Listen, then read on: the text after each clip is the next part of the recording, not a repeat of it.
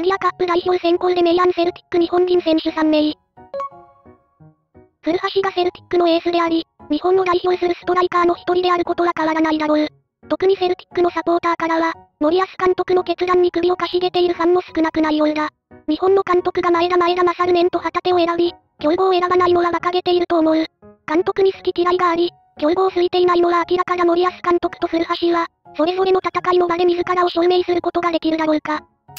移籍してからの活躍と去年のスコティッシュ得点王って本当にすごいと思うし日本サッカーにとって喜ばしいことこの上ないと思うけど個人競技でないところで今現在の代表には縁がなかっただけって思う。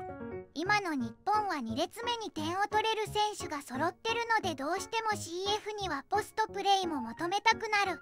そうなるとやはり上田がファーストチョイスになるのは仕方ないこと。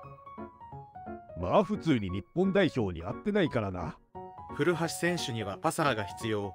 サイド攻撃以上にスルーパスが出せる選手かな。